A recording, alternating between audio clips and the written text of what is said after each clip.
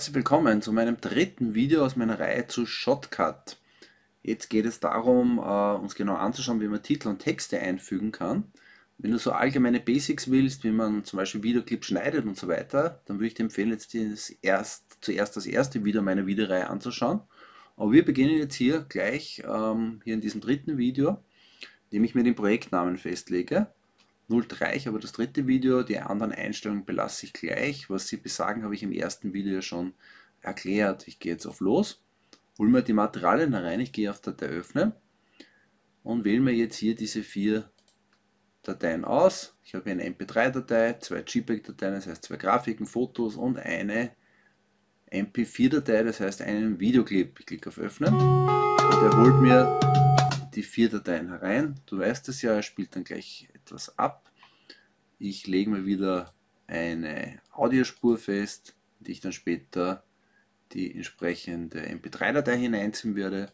Dann lege ich meine Videospur fest, noch eine Videospur und ziehe dann die entsprechenden Materialien dann herein. Das hier ist die MP3-Datei, die ziehe ich mir da herunter, damit ich mehr sehen kann.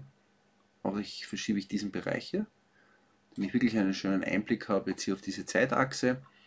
Dann hole ich mir die MP4-Datei, wähle ich mit der linken Maustaste aus, ziehe sie in die untere hier hinein. Dann hole ich mir mal die erste Grafik. Du weißt es, wir ziehen die immer in die andere Videospur hinein.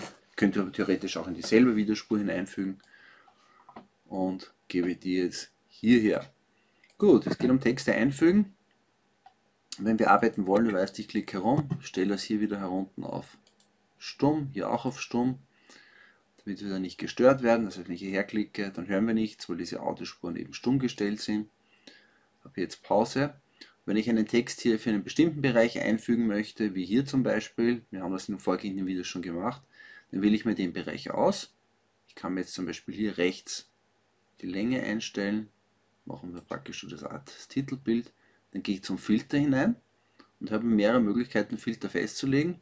In dem Fall, wenn ich Texte einfüge, ist es ein Videofilter. Das heißt, ich sehe etwas, Audiofilter, ich höre etwas.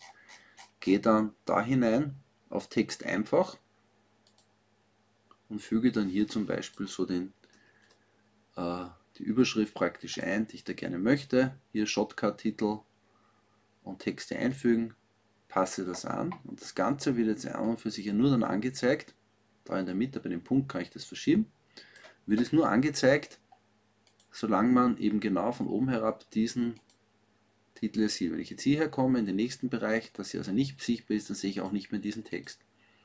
Und jetzt geht es praktisch darum, dass ich eine gesamte Spur mit einem Text dann auch noch versehe. Das könnte ich hier in derselben Spur zum Beispiel machen oder ich könnte es auch in einer anderen ähm, Videospur machen. Ich bleibe jetzt einmal oben bei der oberen, in der alles sichtbar ist, geht hierher, wähle die hier aus, klicke mitten hinein und wähle jetzt auf die gesamte Spur praktisch jetzt hier diesen Textfilter dann an. Ich gehe jetzt wieder auf Filter, dann kann ich hier wieder dieses Plus hier nutzen, gehe auf Video, gehe, gehe wieder zum Beispiel zu Text einfach und gebe dann hier zum Beispiel ein so eine Art Copyright-Zeichen. Ja, hier lernen.at. Ja, das wäre jetzt hier eine Möglichkeit. Und wenn ich jetzt hierher gehe, das hier dann abspiele, dann sehe ich dann zum Beispiel, dass wir lernen.at hier die ganze Zeit dann eingeblendet wird. Das werde ich natürlich anpassen. Ja. Schiebt es vielleicht so hinauf, dass man es nur oben sieht. Ja, so irgendwie. Ich spule dann weiter und man sieht es dann hier in der ganzen Zeit, wenn man hier etwas sieht. Da ich jetzt aber hier nicht sehen kann, sehe ich ja nichts mehr. Wenn ich hier wieder hergehe, erscheint es wieder.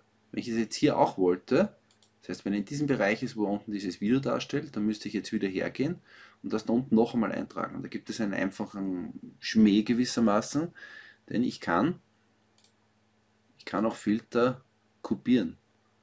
Ich kann hier hergehen wähle hier wieder diese eine Spur aus, gehe wieder in den Filter hinein und kann hier das hier wählen, wähle Filter kopieren, gehe jetzt da herunter und kann dann, wenn Filter ausgewählt ist für diese Spur, kann ich den dann hier über Filter einfügen, dann hereinbringen. Und somit habe ich dann auch für diesen Bereich das dann angewählt, ausgewählt.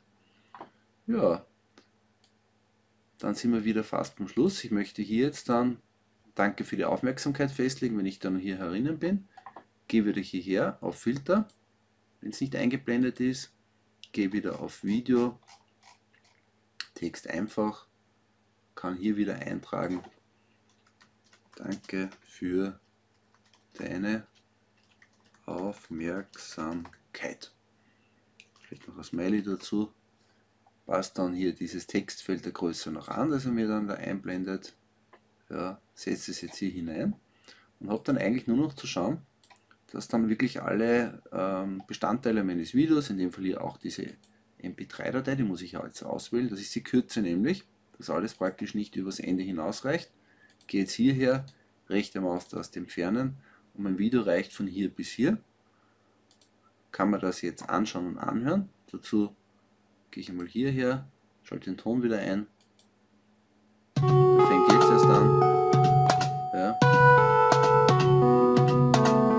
Kann das abspielen und wenn ich jetzt hierher gehe, könnte ich das jetzt exportieren. Mit exportieren wiederum Standard und dann wähle ich immer YouTube aus. Da hat schon eine entsprechende Einstellung. Gehe auf Datei exportieren und das Video ist exportiert.